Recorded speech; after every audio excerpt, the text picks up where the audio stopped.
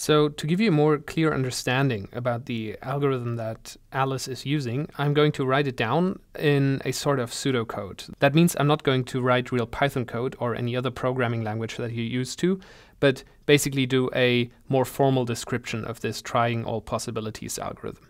So the solution that we're looking for is going to be written into a variable called minimum devices. And initially, to start off the algorithm, we're going to set that variable to the number of communication centers because that is the maximum number of monitoring devices that you're going to need in any case. The algorithm then goes through each assignment of the values 0 and 1 to the communication centers. And what I mean by that is a value of 0 means that communication center does not get a monitoring device, and a 1 means that we are going to install a monitoring device at that communication center.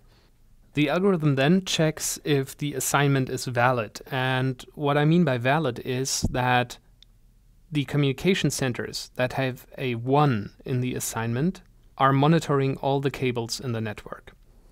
If we have a valid assignment, the algorithm then computes how many devices we used in that assignment, which is simply summing all the ones that are in the current assignment that we're working on.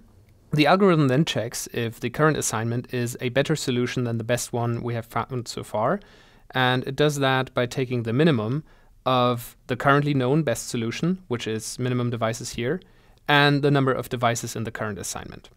If you're familiar with algorithms, you might already see a few issues, even in this pseudocode with this algorithm, but we're going to go into that more deeply in Unit 3 actually. Right now, we're just going to work with this very simple version here.